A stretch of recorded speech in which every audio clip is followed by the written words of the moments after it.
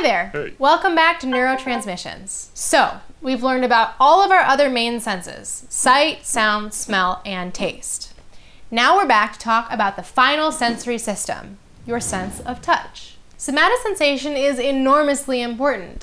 How else would you tell the difference between the gentle touch of a feather and the scratch of sandpaper? How could you tell if you were wet or hot or too cold? Most of all, how could you tell if you were in pain? Yeah. Don't touch that dial until you find out. If All somatosensory pathways have the same basic structure, so let's focus on one and then talk about some variations. Let's say I reach out and touch your arm.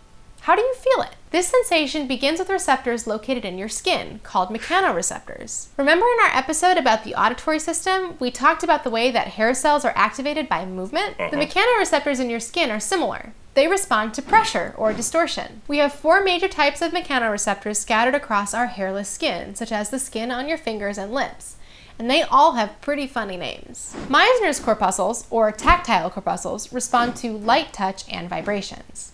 These are very sensitive receptors for fine touch discrimination. Ruffini endings, or bulbous corpuscles, are located deeper in your skin and in the connective tissues of the body, and they respond to skin stretch and angle change in your joints. Merkel nerve endings, or Merkel discs, help us detect ongoing pressure, like a hand holding yours. Lamellar corpuscles, or Pacinian corpuscles, are highly sensitive to vibration. These receptors respond to sudden changes or disturbances and are probably useful for distinguishing changes in texture. No matter which kind of receptor they are, they're located at the ends of afferent nerve fibers, that is, the nerve cells located in the periphery of the body. The nerves transmitting the sensation have their cell bodies and structures called the dorsal root ganglia, or DRGs.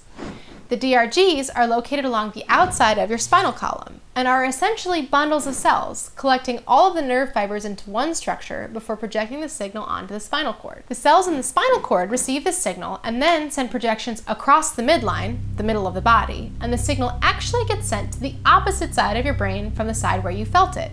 So, if I touch your right hand, the sensation gets passed on to the left side of your brain for processing. Huh. The next stop is the thalamus, acting as a relay for the sensory signals coming from your skin.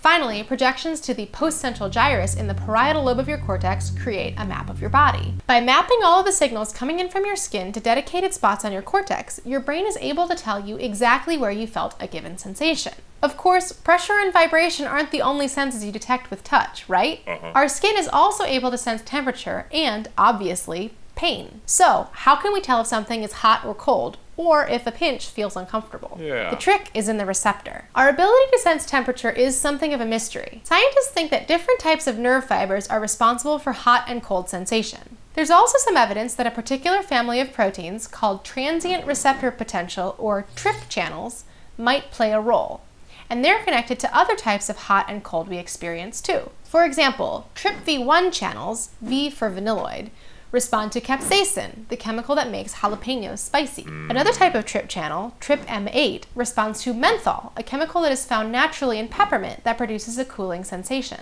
Pain is a different animal. Here, I'm talking just about nociceptive or peripheral pain, which you sense in response to harmful stimuli. To detect pain, your nerves use specialized cells called nociceptors. These nerve fibers use temperature, pressure, and chemical stimuli to determine if something is painful or not. These receptors can be found in your skin, joints, and on some of your internal organs. Nociceptors are essentially just nerve endings embedded in your skin, like the roots of a plant. Let's say you've just gotten a paper cut.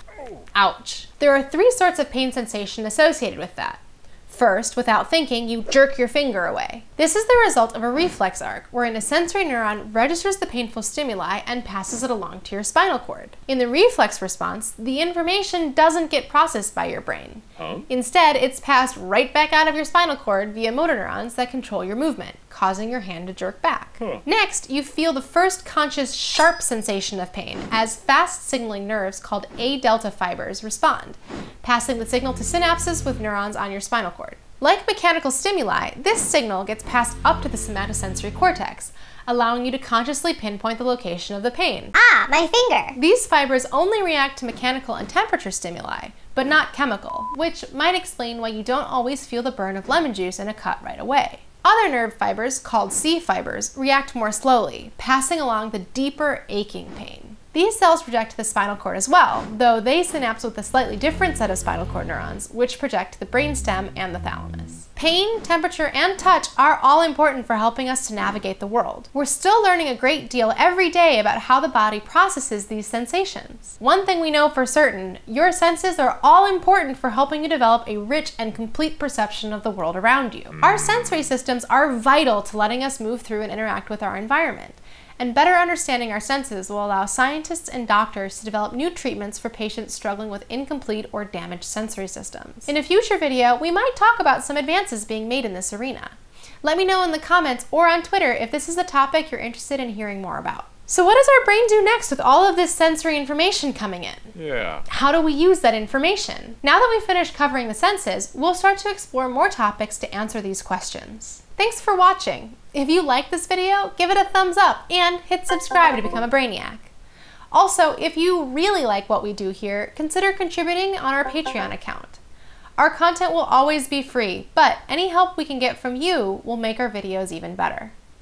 I'm Alie Astrocyte, and until our next transmission, over and out.